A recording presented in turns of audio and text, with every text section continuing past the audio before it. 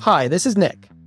In this video, we're going to show you how to use SquareKicker to customize the overlay menu, including features like color, opacity, font styling, hover color, and more. On this site, I have already enabled SquareKicker's desktop overlay menu tool to enable the overlay menu on larger screen sizes. To see how to add this feature, head to the desktop overlay menu tutorial. Now, let's head to the top level SK menu and click on Site. Everything we're about to go through on this video can be applied to the entire site or to a specific page where you can use the header and overlay tools to create a custom landing page. Next, open the header tools. You will see many options to adjust elements in the header as well as the hamburger icon, which opens the overlay menu. At the bottom of the header menu, you will see visibility options. Here you can hide the entire header or choose a specific element to hide in the header.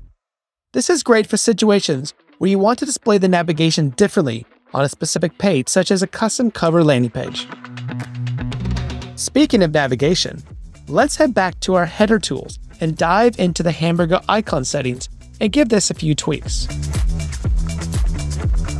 Now we are ready to customize our overlay menu.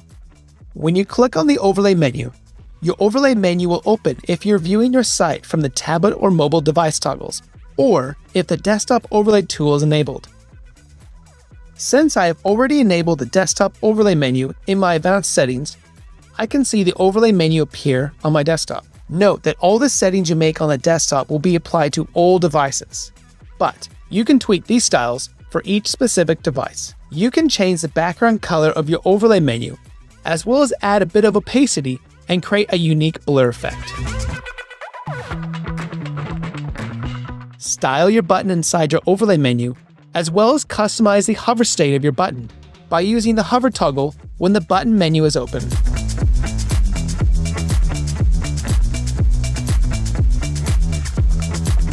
You can also customize the color and size of the navigation links inside the overlay menu. You can even style the color of your hover using the hover toggle.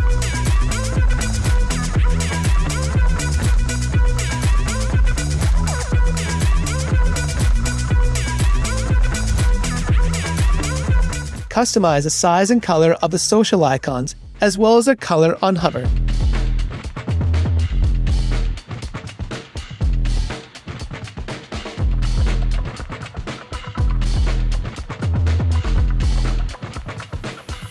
Lastly, choose a color that will suit your close icon so that it stands out when your overlay menu is open. We hope this video has given you some helpful tools and inspiration to use on your next project. If you have any questions, always feel free to reach out to our team.